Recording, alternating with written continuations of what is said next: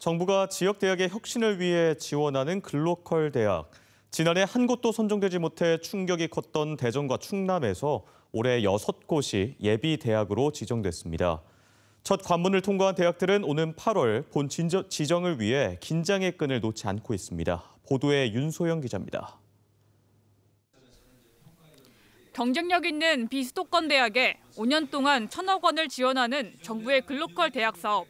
시행 첫 해였던 지난해 대전과 세종, 충남 지역 대학들은 모두 탈락의 고배를 마셨습니다.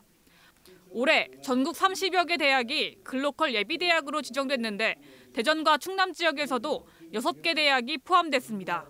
먼저 국립대학 통합을 앞세운 충남대와 한밭대가 재수 끝에 1차 관문을 통과했습니다.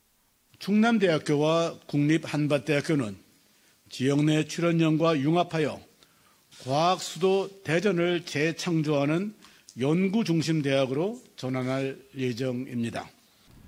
두 대학은 유럽 최대 연구기관인 프라운호퍼를 본떠 지역 연구기관과 지자체 등이 참여하는 응용 융합연구원을 설립할 계획입니다.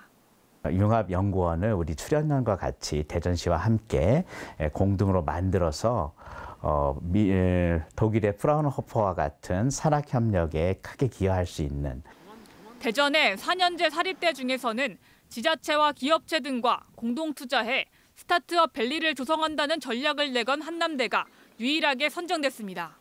학생들이 또 이제 창업할 수 있고 또 교수들도 창업할 수 있고 그, 그러면서 지역 경제 활성화에 이바지할 수 있는 건양대는 국방 산업에 특화된 인력 양성을, 대전 보건대는 대구, 광주 보건대 두 곳과 학사 운영을 통합하는 구조조정안을 제시해 첫 관문을 통과했습니다. 지난해 예비 지정됐다가 본 지정에서 탈락했던 순천향대도 다시 한번 기회를 얻었습니다. 정부는 각 대학에 혁신안을 현실화할 수 있는 실행 계획서를 제출받아 오는 8월 최종 결과를 발표할 계획입니다. MBC 뉴스 윤소영입니다.